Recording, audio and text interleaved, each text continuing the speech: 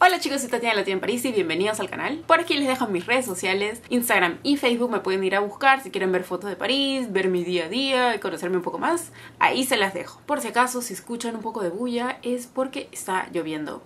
Sí, es París. El video de hoy, como dice el título, es sobre la diferencia de edad entre mi novio y yo. Sí chicos, eso es cierto. Cualquiera que me ha preguntado, yo lo he dicho porque en realidad no me da vergüenza decirlo, que tampoco hay mucha diferencia. Así que de este tema les voy a hablar, qué cosas nos preguntamos al comienzo de la relación, cómo cada uno lo ha tomado, obviamente es distinto, cultura también. Entonces de eso les voy a hablar ahora. Espero que les guste este video y comencemos. Supongo y asumo que ustedes ya saben cómo me conocí con mi novio, cómo fue el inicio de nuestra relación, diferencias y todo el tipo de videos que ya he hablado sobre ese tema. Si no, pues primero te invito a que veas el video de cómo conocí a mi novio. Pues sí, ya muchos saben que lo conocí por Tinder y si quieren ver toda la historia detallada, pues aquí les dejo el video para que lo puedan ver. Ya para las personas que conocen la historia detrás. Esto comenzó en 2015, yo comencé a salir con mi novio desde el 2015 cuando vivíamos en Londres. Obviamente en Tinder hay personas que mienten, pero yo no miento mi novio igual, los dos pusimos nuestra realidad, la edad real. Y pues en realidad yo no sé por qué hicimos match o no tengo la menor idea, porque yo nunca había salido con alguien que sea menor que yo. No es que sea, no puedo salir con nadie que tenga un año o dos años menor que yo. Nunca me quedé pensando en ese tema exactamente, pero nunca había pasado, nunca me había pasado. Las personas con las que yo había salido eran mayores, simplemente porque sí, no sé eran mayores. Como les conté en el anterior video, yo no estaba en el plan voy a conocer al hombre de mi vida en esta aplicación. Entonces yo dije, bueno, no me importa si buscar amigos sea dos, tres años mayores o tres años menores o cinco años mayores, no me importaba. Yo lo había dejado así. Hicimos match, siguió la relación. Como al comienzo de todas las relaciones, no le prestamos atención para nada a esta diferencia de edad. Seguíamos saliendo, todo iba bien, no sabíamos en sí qué iba a pasar en el futuro. Los dos éramos de diferentes países, estábamos en otro país. Creo que nos enfocamos en otras cosas más que la diferencia de edad, porque bueno, tampoco es que una sea gran diferencia, pero bueno, ahí está la diferencia. Eso sí, yo recuerdo que después podría ser más o menos al año de la relación, cuando ya obviamente ya era un poco más formal la cosa, ya estábamos en el mismo país viviendo establemente, ya íbamos a vivir juntos y temas así. obviamente ya comienzas a preguntarte varias cosas, más cuando yo soy la mayor de la relación. Tres años tal vez no es mucho, por suerte, no se siente tanto, pero es el caso de muchas chicas, no lo digo tanto por mí, pero hay muchas chicas que se ponen edades para cumplir cosas en sus vidas. Por ejemplo, hay chicas que dicen yo me quiero casar a los 25, yo me quiero casar a los 30, me quiero casar a los 35. Hay gente que es así, yo no lo soy. yo respeto cada de sus decisiones, pero hay gente que es así, mujeres que son así. Mayormente las mujeres creo que tendemos a hacer eso. Con el tema de matrimonio, el tema de hijos, el tema de obviamente de edad, tenemos más limitaciones, entonces somos nosotras las que nos preguntamos más esos temas. Obviamente hablé de ese tema. Yo le dije a mi novio, oye, yo cuando tenga 30, cuando tenga 35 ya espero estar casada con cinco hijos. No, no hablé exactamente de eso, pero yo le dije, creo que sería mejor que hablemos del tema, porque va a llegar un momento que tal vez yo sí quiera estar casada, que tal vez yo eh, quiera tener un hijo y tal vez tú no quieras, porque tal vez tres años no es mucho, pero para un hombre puede que sí. Puede ser que un hombre, uno, no quiera tener hijos, una diferencia cultural, o simplemente también por la edad. Tal vez para él es muy joven tener un hijo a tal edad, como tal vez quisiera tener un hijo a los 50, y yo a los 50 obviamente no voy a poder tener un hijo. De esos temas, esos temas yo hablé con él al comienzo. No era querer presionarlo en ese tema, pero era querer saber a qué me estaba metiendo. Yo en sí creo que soy una persona muy realista. Obviamente que a veces las emociones ganan, los sentimientos ganan, pero también soy bastante realista. Él, por ejemplo, me decía, oye, ¿sabes qué? Sinceramente yo no me veo casándome, no me veo teniendo hijos. Pues yo tal vez hubiera dicho, ah, ok, entonces Tal vez hubiera dicho eso, no lo sé. Es por eso que yo decidí hablarlo. Y hablamos del tema, por suerte, él pensaba algo similar que yo. Las edades, o sea, no nos planteamos, oye, para tal año nos vamos a casar, para tal año vamos a tener un hijo, y para tal año no lo hemos hecho eso y hasta ahorita no lo hacemos. Hasta ahora no sé cuándo tendré un hijo, no sé cuándo me casaré, no lo sé. Y él tampoco. Pero obviamente sí sabemos que queremos casarnos, sabemos que queremos tener un hijo y obviamente que para eso hay fechas. Va a llegar un momento que vamos a tener que cuadrar fecha porque pues si no nos quedamos sin nada.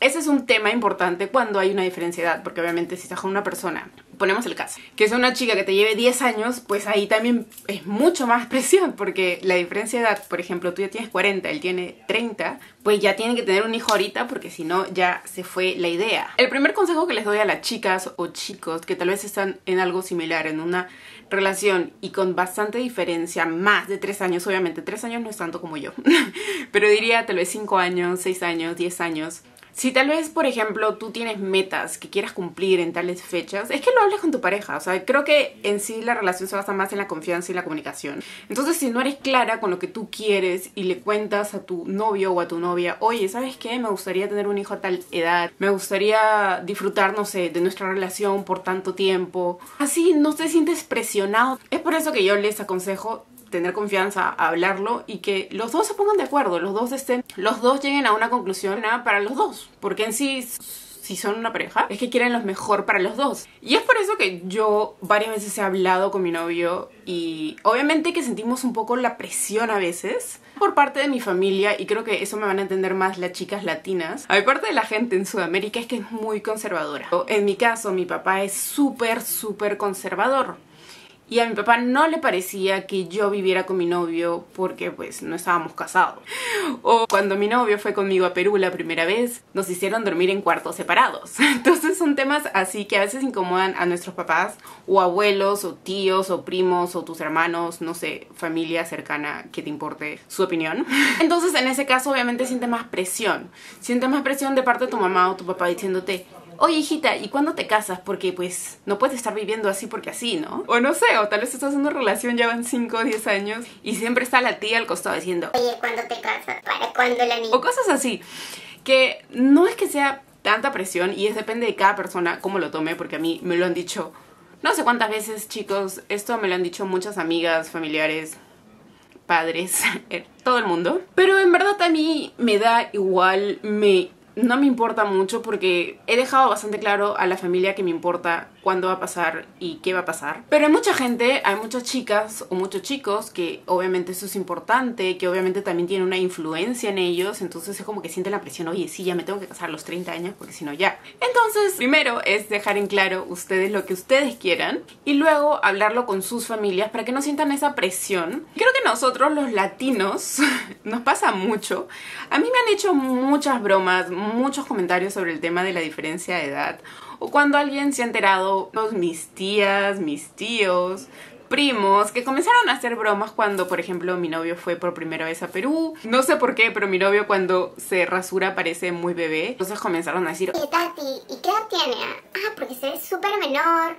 Bueno, es menor que yo, pero tampoco tanto. Y comenzaron a hacer muchas bromas, la, la clásicas bromas que te hacen simplemente porque tu novio es menor. Y sinceramente, yo lo tomé a broma, me reí. Incluso mi mamá me hacía bromas y mi mamá se lleva 7 años de diferencia con mi papá. Igual, se hacían bromas me, hicieron muchas bromas del tema, hasta ahora me hacen bromas del tema, pero en realidad a mí no me molesta, entonces en ese caso no me afecta. Tampoco son bromas pesadas, pero hay gente que podría hacer que tal vez la diferencia se nota mucho físicamente. En mi caso no se nota tanto la diferencia. Les voy a dejar algunas fotos por aquí para que vean que no hay mucha diferencia en sí en lo físico yo y mi novio. Creo que él aprende un poco más edad o yo aparento menos edad o no sé, pero parecemos casi la misma edad. Y en el tema profesional, que creo que a veces también puede afectar cuando alguien está estudiando, otro trabajando, otro en el plan, oye, quiero comprarme un departamento y el otro está en plan, no, yo quiero viajar y vivir la vida loca. Pues en ese tema, al menos los dos estábamos muy, muy similares. Los dos somos de una personalidad similar en ese punto de queríamos concentrarnos en los estudios, luego trabajo, obviamente que tenemos ideas en el futuro de qué vamos a hacer. No hemos tenido estudios muy similares, entonces creo que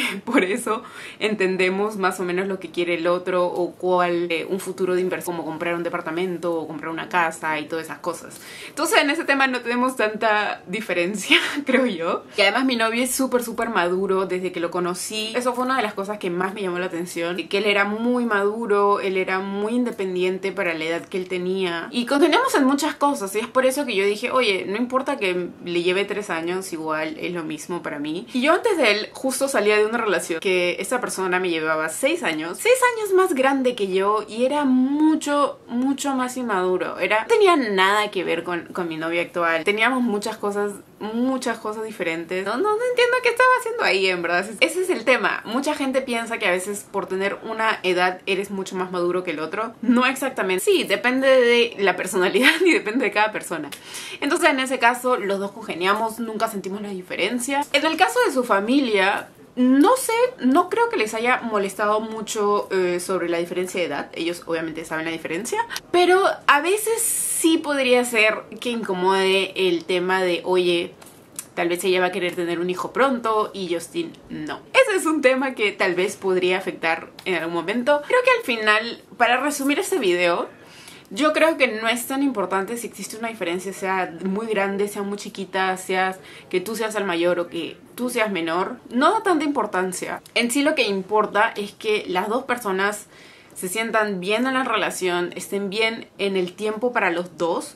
Puede ser que sí, tal vez tengas los dos la misma edad, pero uno ya quiere tener un hijo, el otro no, uno se quiere casar, uno quiere vivir, uno quiere viajar, el otro quiere hacer otra cosa, y pues no llegan a, un acuerdo de qué es lo que quiere cada uno para su vida. Entonces creo que ese es el punto, no tanto la edad. Y eso es lo que les quería contar simplemente, que tanto hemos luchado con ese tema. Por suerte yo ni mi novio somos personas maniáticas que quisiéramos controlar nuestras vidas a minuto a minuto o cada año y decidir qué va a pasar cada año. Por suerte no lo somos. No nos preocupamos, no hay una diferencia de edad que me esté metiendo una presión diciendo, oye, ya tienes que hacer esto, esto, esto, porque la vida que fluya y que lleguen las cosas como deben llegar. Chicas, chicas, chicas, para ustedes va esto, ya que he visto que en esta cuarentena todas están ahí metiéndole al Tinder intenso, dale que te dale. Les digo, no importa que el chico con el que estén saliendo o el chico con el que estén hablando sea menor que ustedes, en realidad eso es lo menos importante. Lo que más importa es lo que tienen acá, si qué tan maduros son, qué quieren para su vida, qué quieren para el futuro. Y obviamente si va con lo que ustedes quieren, porque pues si tú quieres irte de fiesta todos los días hasta que tengas 40 años, pues consíguete a alguien que quiera exactamente lo mismo que tú. Sin importar lo que quieras hacer, que simplemente la otra persona quiera hacer lo mismo. Los dos sean compatibles. Eso es lo que les quería hablar hoy día, que muchas personas me han preguntado, a veces me han dicho cómo hago, cómo no hago, pues en verdad no me hago bolas, me da igual, simplemente hay una diferencia de tres años ya y... Así que simplemente no se hagan bolas por cosas de una edad, dos años, tres años, cinco años o diez años. Simplemente que fluya. Si la relación funciona, pues funciona. No importa tengas 10, 20, 50 años de más. Espero que les haya gustado este video y déjenme aquí abajo en los comentarios si tal vez estás en una relación similar, diferencia de edades, tal vez tú eres mayor, tal vez tú eres menor, no sé. ¿Tenía algún problema por eso de la edad? Porque obviamente hay gente que sí tiene problemas por eso. No olviden suscribirse aquí abajo en el botón rojo y nos vemos para el próximo video. ¡Chao!